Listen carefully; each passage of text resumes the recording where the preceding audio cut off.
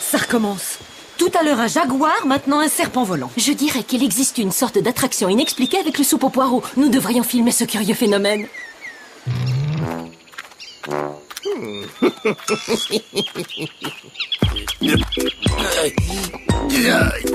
Arrête de faire cette tête de hareng. Sort, tu vas griller notre couverture et adieu le biocarburant. Nous sommes en mission. M'en tape Mesdemoiselles, si vous voulez bien me suivre, nous allons nous occuper de vos badges d'accès au congrès. Voyons, laquelle de vous deux est Mademoiselle Stroya et laquelle est Mademoiselle Pinkprint Je suis Mademoiselle Pinkprint Moi, c'est Stroya. Mademoiselle Stroya Fantastique